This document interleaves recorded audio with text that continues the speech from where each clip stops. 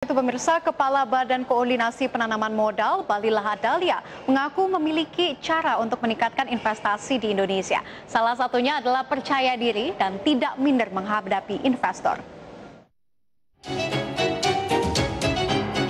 Presiden Joko Widodo telah mengeluarkan target untuk bisa menarik investasi lebih dari 900 triliun rupiah di tahun 2021.